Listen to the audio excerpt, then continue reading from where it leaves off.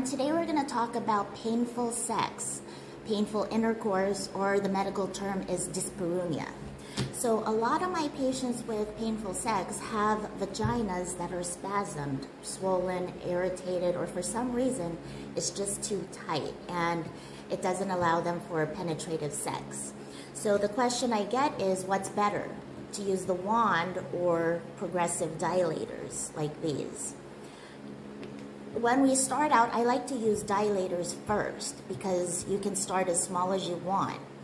And the patient can be laying down and relaxed. And their goal is just to gently insert as much as they can.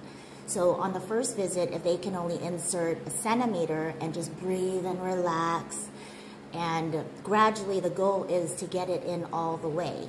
Once they can get one dilator in all the way and it doesn't hurt, and then you can just relax and then they progress to the bigger one until we get to as big as we want to accomplish.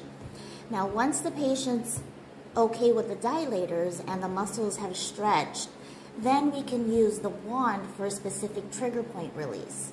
So now the introitus and the vaginal canal is flexible enough. So now you can use the wand to do trigger point release. So let's say this is the vagina. We put the wand in.